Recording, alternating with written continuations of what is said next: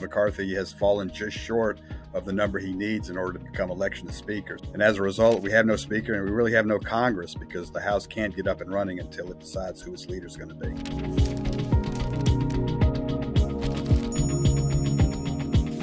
There's a group of really hardcore conservatives who either don't like Kevin McCarthy or don't like the Republican leadership in general.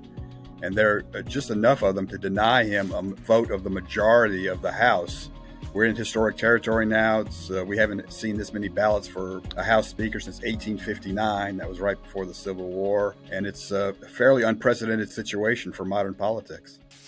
The biggest consequence is that the House is, the new House is frozen in place. I mean, these guys were just elected in November. They expected to take office this month, but under House rules, you have to elect a Speaker of the House before you can swear new members in, before you can create committees, before you can take up legislation. This is not a very good look for the United States government, simply put. We at least expect the government to function and be up and running and for people to be working every day.